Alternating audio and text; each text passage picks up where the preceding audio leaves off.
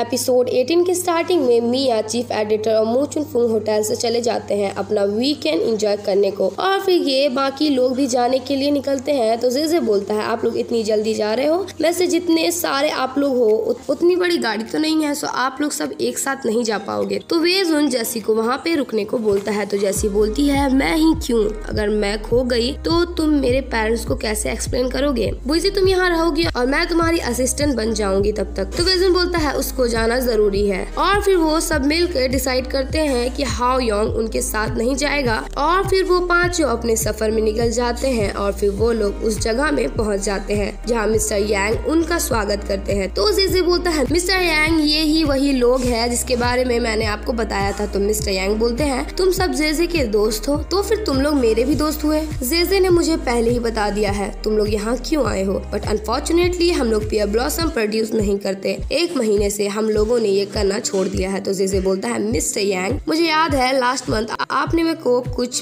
पियर blossom को लेकर जाने को बोला था मेरे डैड के लिए। तो मिस्टर यांग बोलते हैं, वो लास्ट ही बचे थे। मुझे पता है, तुम्हारे डैड को ड्रिंक पसंद है सो इसलिए मैंने उनके लिए बचा के रखा हुआ था। पर अभी मेरे पास एक भी नहीं है। और फिर मिस्टर यांग उन्हें अपना पूरा वाइनरी दिखाने लगता है और उन्हें अपने वाइनरी की वाइन भी पिलाता है और हमारा ये स्मोक करने के लिए वाइनरी से बाहर चला जाता है। और बुइजी मिस्टर यांग से बहाना मार के ही के पीछे चली जाती है और बोलती है, ये नान के मुझे लगता है यहाँ पे कुछ तो गड़बड़ है और मुझे कुछ फैमिलियर स्मेल भी नहीं आई यहाँ से। और फिर वो दोनों बाइनरी की चेकअप करने लगते हैं। जहाँ बुइजी एक टूटी हुई जार को सूंघ के बोलती है, ये तो पियर ब्लॉसम की स्मेल है। और इधर वेजुन भी बहाना मार के वहाँ से चला जाता है तो मिस्टर यांग जेजे को बोलते हैं, आज उन्हें यही लंच करना है। और इधर बुईजी एक गेट के पास जाकर बोलती है, ये स्मेल तो यहीं से आ रही है, पर ये गेट लॉक है। यहाँ पे कोई खिड़की भी नहीं है। हम लोग कैसे अंदर जाएँगे? और ये ये सुन के अपना टूल निकाल के उस लॉक को तोड़ देता है। और फिर वो दोनों अंदर चले जाते हैं और इधर वेजुन बुइजी को ढूंढ रहा था और इधर ये दोनों अंदर आकर देखते हैं, वहाँ पे बहुत सारी वाइन होती है और बुइजी टूटे हुए जार को देखती है और उसमें थोड़ी सी वाइन भी थी। तो बुइजी उसे टेस्ट करके देखती है और बोलती है, ये तो पियर ब्लॉसम है। तो ये बोलता है, इसे देख के ऐसा लग रहा है जैसे की ये वाइन ज़्यादा दिन पहले ही डिस्ट्रॉय नहीं हुआ है। वो मिस्टर यांग को तो मैं,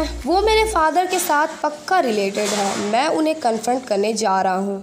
तो बुइजी बोलती है, रुक जा, अगर तुम ऐसा करोगे तो वो पहले से अलर्ट हो जाएँगे। अगर वो कुछ करने वाले होंगे पियर ब्लॉसम के साथ तो ऑलरेडी वो इसके लिए प्रिपेयर कर लेंगे। प्लस ये टूटे हुए जार ये प्रूव नहीं कर पाएँगे कि मिस्टर यांग गिल्टी है। तो ये बोलता है, बिना एविडेंस के अगर हम लोग पुलिस को कॉल करेंगे तो भी वो उन्हें अरेस्ट नहीं करेंगे। तो क्या इसके लिए हम बस वेट करते रहे? वो ऑब्वियसली इसमें इन्वॉल्व है। तो बुइजी बोलती है, कुछ फ़ोटो ले लो प्रूफ के तौर पे। और मैं सैंपल के लिए ये थोड़े से कलेक्ट कर लेती हूँ। और वो लोग वैसे ही करने लगते हैं तो उसी टाइम कोई बाहर से आकर गेट बंद कर देता है। और लॉक भी कर देता है। और ये काफ़ी कोशिश करता है गेट खोलने का बट वो गेट नहीं खुलती और इधर जे जे जैसी को बोल रहा था कि मिस्टर यांग एक डिसेंट आदमी है स्पेशली अपनी बीवी के लिए। वो बहुत केयरिंग है और बहुत स्वीट है। और तभी वहाँ गार्ड आकर मिस्टर यांग के कान में सारी बात बताता है और वो वहाँ से चले जाते हैं। और इधर वेजुन ज़ोर ज़ोर से बुइजी का नाम चिल्ला रहा था और बुइजी वेजुन की आवाज़ सुन के उसका नाम चिल्लाने लगती है और फिर वेजुन वहाँ आ जाता है और बुइजी उसे बताती है कि उन लोगों ने पिया ब्लॉसम को ढूंढ लिया है तो वेजुन बोलता है गेट लॉक है मिस्टर यांग पक्का कुछ छिपा रहे हैं हमसे।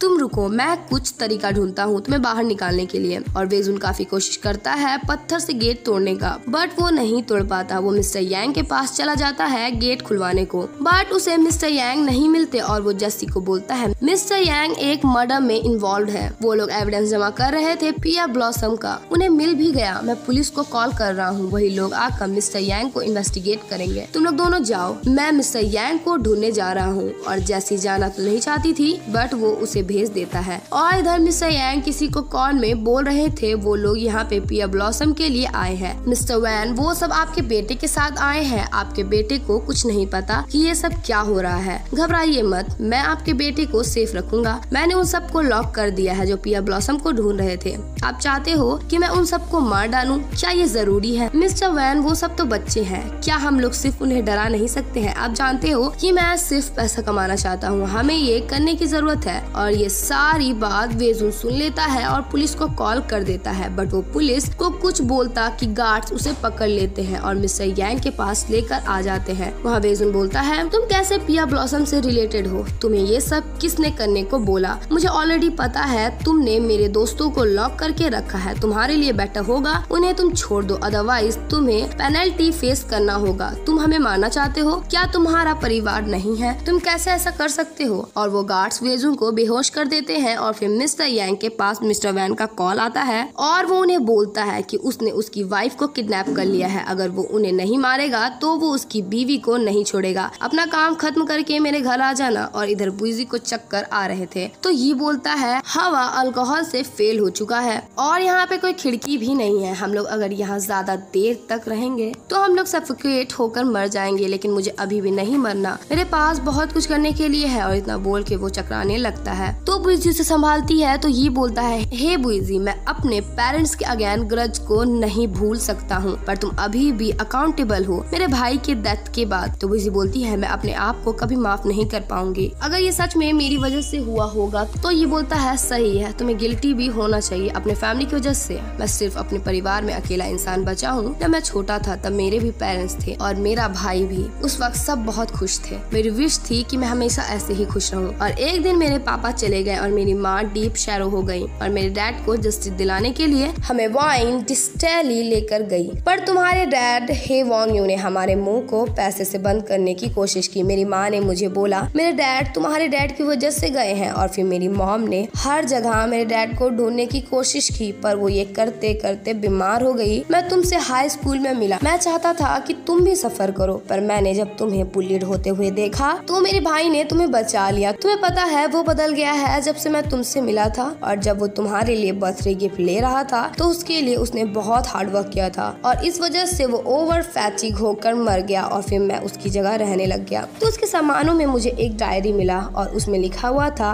अब मैं न्यू सिटी आ गया हूँ। नान के यहाँ मेरी चेकअप नहीं करने आएगा। मैं दोबारा बीमार हूँ। उसमें बहुत पैसे लगेंगे मुझे ज़रूरत है एक जॉब ढूँढने की और फाइनली मुझे जॉब मिल गई। इसलिए मैं नान के को डिनर में लेकर जाऊँगा और आज 10 फरवरी 2013 है। ये पहली बार है जब मैं न्यू ईयर में घर नहीं गया, पर नान के वहाँ है। उम्मीद है कि नान के माँ को अकेला फील नहीं होने देगा। और नान के बोलता है, मैंने अपने भाई का क्यू क्यू आई डी का पासवर्ड चेंज कर दिया था, उसको बिना बताए। और जेल से निकलने के बाद मैंने Q Q account log in किया और मैंने देखा तुमने उसे बहुत सारे मैसेजेस किए थे। तुम्हें पता है, उस टाइम मैं बहुत खुश हुआ था। तो बुजी बोलती है, तुम्हें पता है, तुम्हारा भाई कभी नहीं चाहता था कि तुम अपना टाइम वेस्ट करो। इस रिवेंज में वो बस चाहता था कि तुम खुश रहो और सेफ़ रहो। ये नान के तुम उसके जुड़ा भाई हो, पर तुम उसे नहीं समझते। उसका दिल पूरा प्यार से भरा हुआ था। उसने कभी किसी से नफरत नहीं किया। पर तुम अपने आप को देखो, क्या बन गए हो? तुमने उसे डिसअपॉइंट किया है, जिसे सॉरी फील करना चाहिए। वो तुम हो ना कि मैं। और बाहर मिस्टर यांग आकर उन पे चिल्लाने लगते हैं। गाइज़ आप सभी से बोलना चाहती हूँ कि वीडियो अगर अच्छी लग रही है तो वीडियो को लाइक कीजिए शेयर कीजिए और कमेंट भी कीजिए। और अगर आप मेरे चैनल पे न्यू है तो मेरे चैनल को सब्सक्राइब कर लें और साथ ही साथ बेल आइकन को भी प्रेस कर दें कि जिससे आपको मेरी वीडियोस की नोटिफिकेशन सबसे पहले जाए तो बुजी बोलती है तो हमसे क्या छिपा रहे हो? ये बताओ, तुम सयांग बोलते हैं, मैं तुम लोगों को बता दूँ, तुम लोग इस गेम को खेलने के लिए पे नहीं कर पाओगे, तुम अपनी लाइफ को खो दोगे। मेरी बात सुनो, अगर मैं तुम्हें जाने दूँ और तुम लोग किसी के सामने पियर ब्लॉसम को लेके ना बोलोगे तो मैं तुम लोगों को छोड़ दूँगा। अदरवाइज़ वरना तुम लोगों में यहाँ से कोई ज़िंदा नहीं जाएगा। तो ये बोलता है, ये जियांग गाँव कहाँ है? क्या तुमने उसे भी किडनैप कर लिया है? तो मिस्टर यांग बोलता है, ये जियांग गाँव तुम उसको लेकर क्यों पूछ रहे हो? और तुम उसे कैसे जानते हो? तो ये बोलता है,